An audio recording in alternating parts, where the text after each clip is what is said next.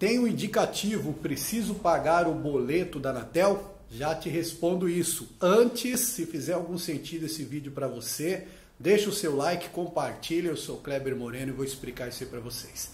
Gente, é, o indicativo, existe dois modelos, né? Existe o modelo antigo e existe o modelo atual que é chamado dispensa de licença.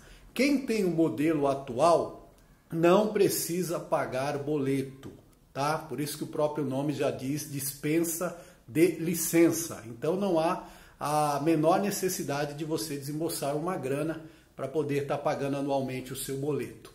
Agora, quem tem o indicativo antigo, esse sim, quem quer manter o seu indicativo antigo, aquele que já pagava os boletos antigamente, desde muito tempo, que a turma já ficava esperando, poxa, tem que pagar e tal, vou lá tirar o boleto na Anatel através do meu número Fistel e, vai, e, vou ter que pagar? Sim, esse continua tendo que pagar normalmente. Só que agora você tem que tirar, obviamente, pelo site da Anatel, é, fazer o procedimento e tirar os boletos direitinho. Inclusive lá no Rádio PX Mania, lá na outra rede, nós temos vídeo ensinando como tirar é, o boleto.